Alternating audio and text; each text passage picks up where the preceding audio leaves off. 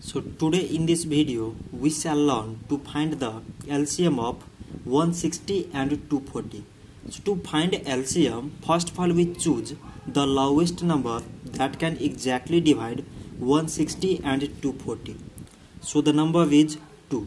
So 2 times 80 mean 160, 2 times 120 mean 240. So again it is divisible by 2.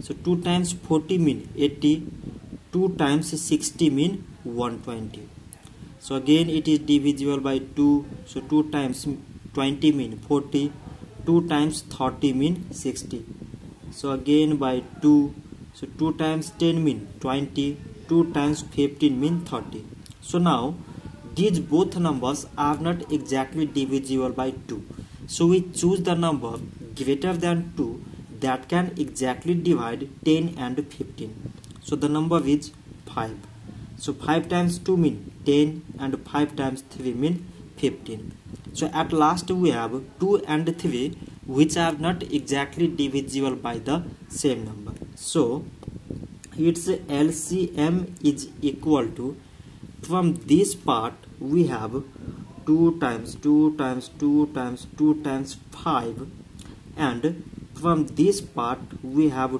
2 and 3 so 2 times 2 mean 4, 4 times 2 8, 8 times 2 16, 16 times 5 80, 80 times 2 160, 160 times 3 mean it is 480.